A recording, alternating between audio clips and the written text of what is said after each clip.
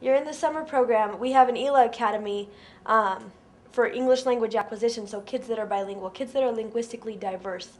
Um, come to the Denver Public Schools ELA Summer Academy. And it's a month long, and it, it's only a month, so it's four weeks.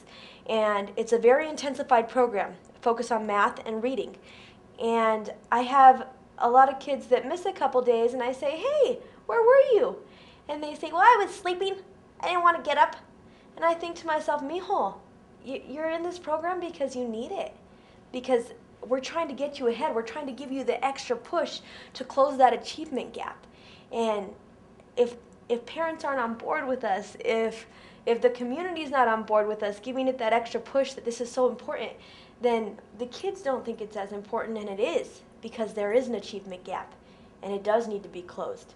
And we're doing everything we can to do that, and that's why this program is in place. So it just it kills me when I when I hear that kids aren't coming to school or their mom or dad said it was okay to miss that day because they were sleepy or because they have a doctor's appointment later on. And I think, well, school's out by that time. You could still come because every every second counts. Every day counts.